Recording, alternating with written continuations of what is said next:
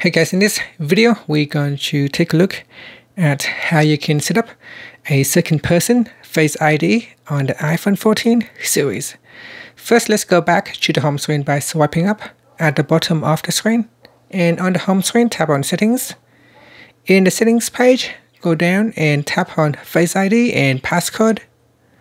Next, we put in the screen passcode. Then we go down and tap on setup and alternate appearance. Now this will allow you to set up Face ID for the second person.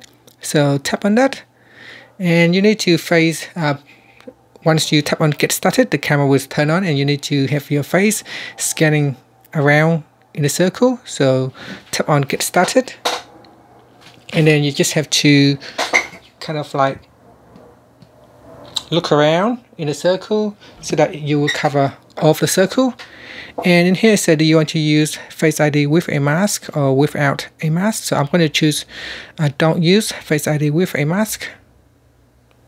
And now tap on done. And that's it. So that is how you can set up an alternate appearance of a second person to use Face ID. Finally, you can swipe up to go back to the home screen. Thank you for watching this video. Please subscribe to my channel for more videos.